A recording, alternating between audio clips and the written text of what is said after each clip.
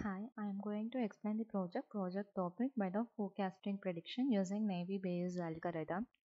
First, data collection. The data is collected from Kaggle website. We, we have taken the CSV file data set for this project. This is the data set for, for this project. The next one is data pre-processing. Pre-processing is used to reduce the noisy data and null values. Here we are checking for null values, filling null values as another values. We can see this in source code. First import uh, import, import the packages. This line import the numpy library and give it the alias np and the second line import pandas and give an alias pd. The third line reads in a CSV file named with a history.csv using the read CSV function from the panda library and assigns the resulting data frame object to a variable named data. Now I run this cell data.head function is a method call on the data frame object data. This method returns the first five rows of the data frame as a new data frame object. This is the five rows of our data. The next one is data shape. Data shape is an attribute of the data frame object data. This attribute returns a tuple representing the dimension of the data frame where the first element of the tuple is the number of rows in the data frame. The second element is the number of columns in the data frame. Dropping unwanted column. Data loud cover dot value counts function is a method call on the data frame object uh, data that is used to count the unique value in the loud cover column.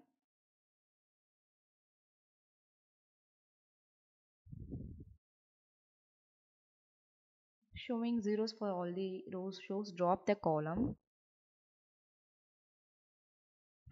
Data drop loud cover axis 1 in place true is a method call on the data frame object data that drops the loud cover column from the data frame.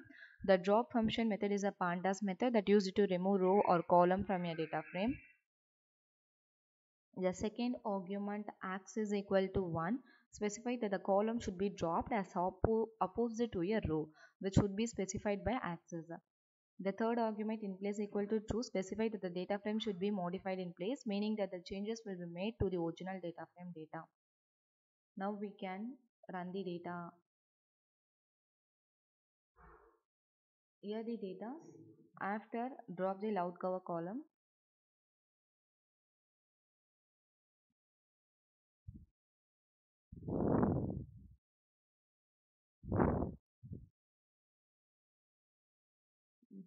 This cell is uh, already run. Data dot drop is a method call on the data frame object that drops the formatted data and daily summary column from the data frame. After this method call the formatted data and daily, daily summary columns will be removed from the data frame data and the resulting data frame will have two less columns in the original. Final shape. Final shape uh, rows and uh, columns or uh, dimension of our data frame is shown here. Checking for null value.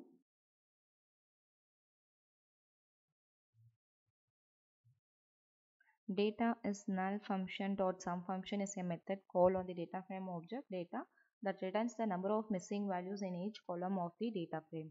The is null function method is a pandas method that returns a data frame of the same shape as the original data frame while each element is a boolean value indicating whether it is missing or not. The sum function method is then called on the resulting data frame which calculates the sum of each column treating true value as 1 and false value as 0.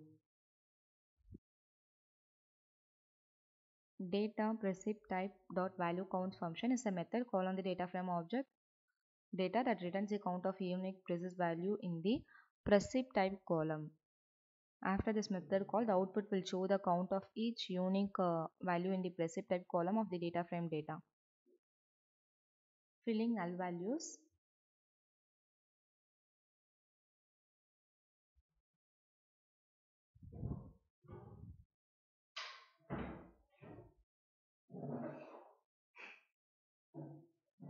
Data precip type that fill now method in place axis equal to 0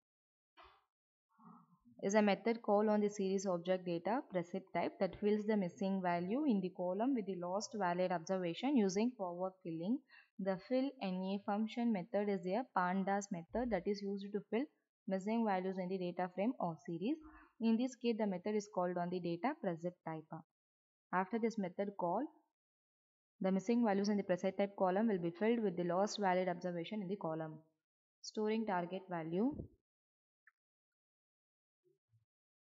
Value count function dot index x uh, index is a statement that creates a new variable target values and assign it the, it the unique value of the summary column sorted by the frequency count in the descending order. After this method statement, the variable target values will contain an array-like object that contains a unique value of the summary column sorted by the frequency count in descending order. Converting categorical attributes into numerical.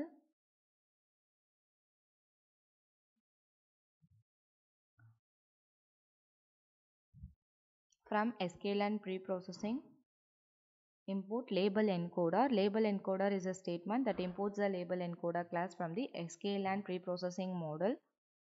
Label encoder function is a statement that creates a new instance of the label encoder class and assigns it to the variable LE in this step.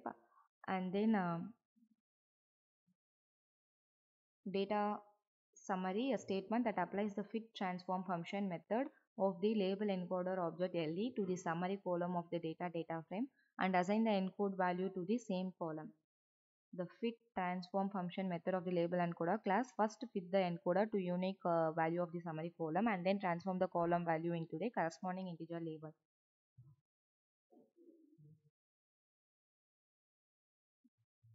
Data head function. Now we now the first five rows of the data's uh, of our data frame is shown here by calling the head function dividing the data frame into independent and uh, dependent and independent uh, variable y equal to data dot iloc uh, 0 is a statement that creates a new variable y and assign it in the it the values of the first column of the data data frame using the iloc method. The iloc method is used to select rows and columns of your data frame by the integer index in this case y will be pandas series object that contains the value of the first column of data and x equal to data iloc uh, 1 is a statement that creates a new variable x and assign it all the columns of the data data frame except for the first column using the iloc method. In this case, x will be data frame object that contains all the columns of data except for the first column. The variable x and y often used in supervised learning problems where x represent the features or independent variable and y represent the target or dependent variable. Now we show the x is a x uh, x data frame and uh,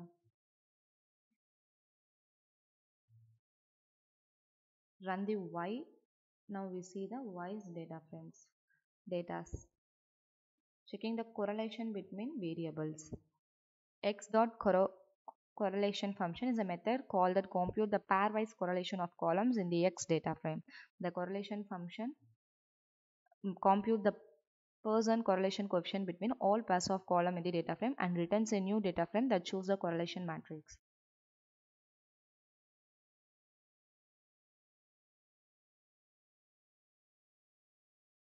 This is the output for x dot correlation function and then x dot drop and x dot shape.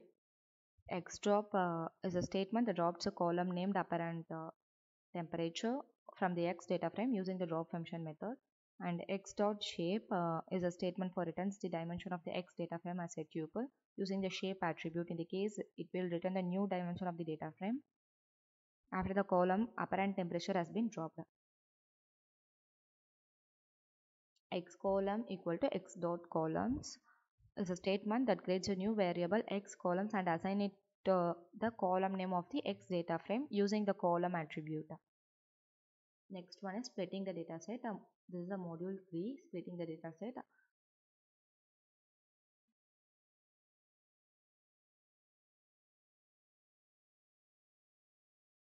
This is the output for x columns equal to x dot columns.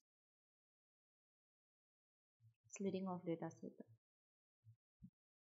From sklearn model selection import train test split is a statement that import the train test split function from the model selection module of the sklearn library.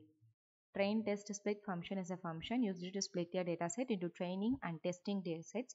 Uh, it takes several arguments including the features and target uh, variable. The size of the test set uh, in this case 30% of the data and a random sheet in this case to ensure that the data is split in a reproducible manner. Using PCA from sklearn.decomposition import PCA is the statement that import the PCA principal component analysis class from the decomposition model of the sklearn library.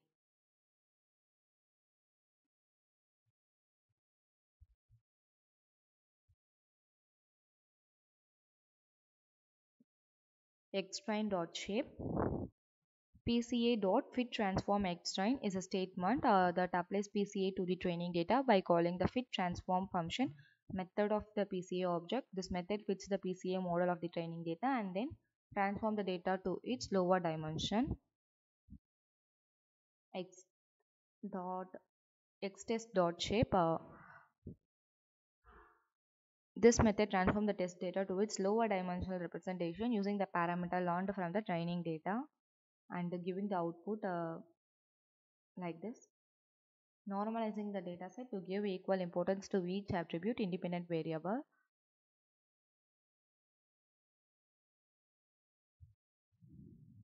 From sklearn that preprocessing import standard scaler is a statement that import the standard scaler class from the preprocessing module of the sklearn library. SC standard scaler creates a new instance of the standard scaler class that will be used to standardize the data. Xtrain sc.fit transform xtrain applies the standardization to the training data by calling the fit transform function method of the standard scaler object sc. This method fits the scalar to the training data and then transform the data.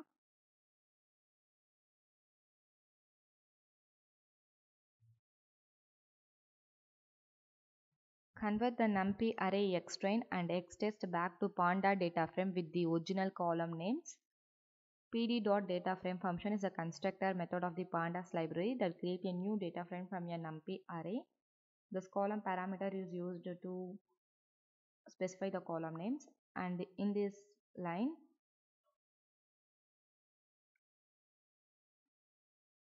X column is a variable that should contain the original column name of the features before the column apparent temperature was dropped and the PCA and standardization were applied. Xtrain and Xtest will now have the same column names and format as the original data frame except for the dropped column apparent temperature C. There is the output for this.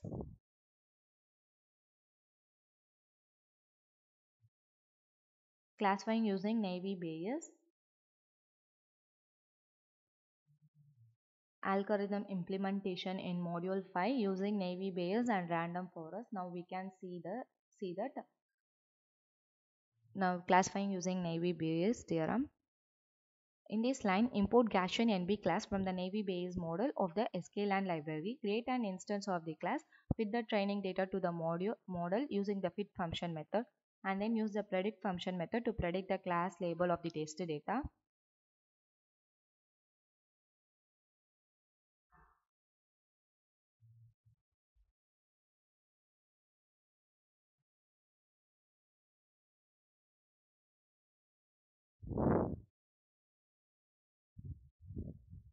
import the matrix metrics module from sklearn and uses the accuracy score function to calculate the accuracy of the model prediction on the test set.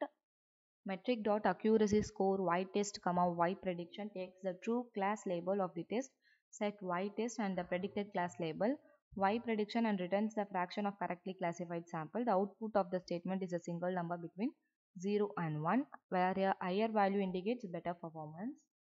Now we using the using random forest classifier. First I run this code. Import the random forest classifier from the ensemble module of the sklearn library. Create an uh, instance of the class with specified hyperparameter fit the training data to the module model using the fit function using the fit function and then use the predict function to predict the class label of the test data. Random forest classifier is an ensemble learning method that fits a number of decision trees on various subsample of the dataset and then averages their prediction.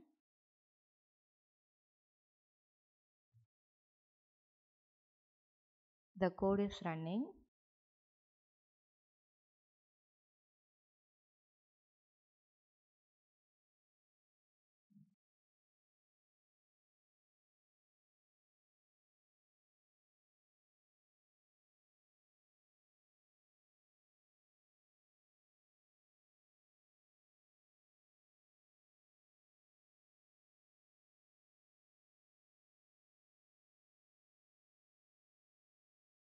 In this line fits the random forest classifier to training the data and X train and the corresponding label X train. Y prediction or if predicts the class label for the test data X test using the predict function of the fitted ORF object.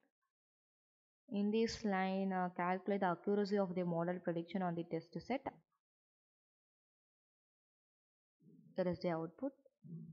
Next, feature importance. Calculate the importance of each feature in the random forest classifier. X columns. Return the list of column names of the input features as the output.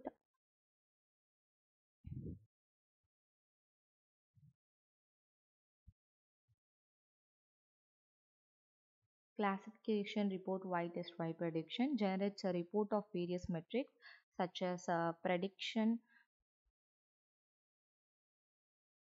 precision, recall and uh, F1 score. For each class in the classification task, the output of this code or the accuracy score, feature importance, list of columns, names and classification report. Here is the overall output for this project.